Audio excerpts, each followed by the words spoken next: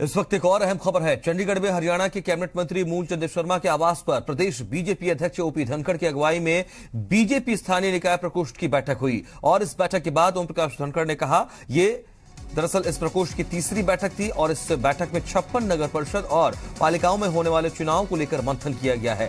फरीदाबाद और मानेसर नगर निगम के चुनाव होने हैं। 2022 में गुरुग्राम नगर निगम का भी चुनाव है।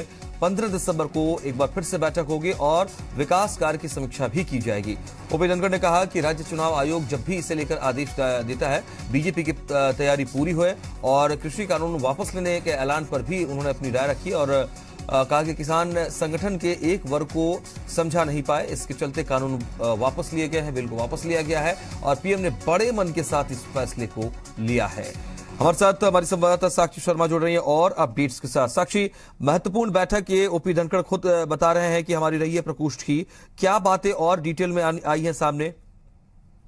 जी, बिल्कुल, देखिए, आपको बता दें कि जिस तरह स्थानीय निकाय प्रकोष्ठ की आज एक अहम बैठक हुई, मूलचंद शर्मा, जो कैबिनेट मंत्री हैं, वो इस कमेटी के अध्यक्ष भी हैं, उनके आवास पर बैठक हुई और ओम प्रकाश धनखड़ खुद इस बैठक में शामिल हुए।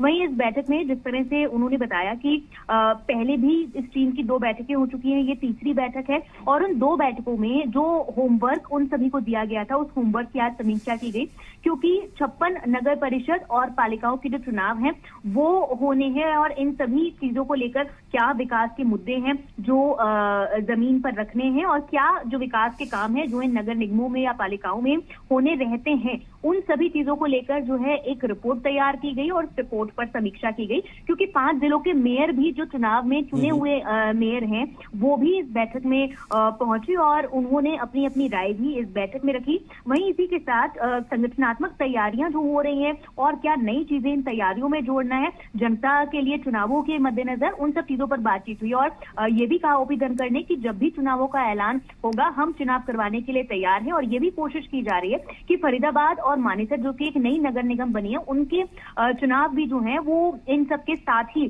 करवा लिए जाए। वहीं चुनाव में किसान आंदोलन जो कर रहे थे कृषि कानूनों को लेकर वो अब वापस ले लिए। इस इसका कितना असर पड़ेगा इस पर उन्होंने अपना जवाब दिया कि पीएम भी ये कह चुके हैं कि इन सभी चीज़ों को चुनाव से जोड़कर नहीं देखना चाहिए। हमने तो क्योंकि एक विशेष वर्ग को हम इन कानूनों की जो महत्ता थी वो समझा नहीं पाए इसलिए ये तमाम कानून जो है वापस है। विपक्ष के पास भी उन्होंने निशाना साधा कि विपक्ष भी अपने समय में अब वो सरकार पर ज़रूर सवाल उठा रहा है। लेकिन स्वामीनाथन रिपोर्ट की अगर हम बात करें तो कई सालों तक उस रिपोर्ट को भी दबा कर रखा और अपनी ही रिपोर्ट को वो लागू नहीं कर पाए और जब आज सरकार लागू करने करने के लिए उसको कोशिश कर रही थी तो अब सरकार पर सवाल उठाए। तो कहीं ना कहीं इस तरह से पूरी आज बैठक रही चुनावों के मुद्दे पर बैठक रही। हालाँकि उन्होंने कहा कि पंचायती चुनाव अभी इतनी जल्दी नहीं हो सकते। उनसे पहले जो नगर निगम और पालिकाओं के चुनाव है हम्म, हम्म। वो इस चुनावों को होंगे और उन चुनावों को करवाने के लिए पार्टी पूरी तरह से तैयार है। और अब इस समिति की जो अगली बैठक है वो पंद्रह दिसंबर को होगी। जी बहुत शुक्रिया आपका साक्षी शर्मा।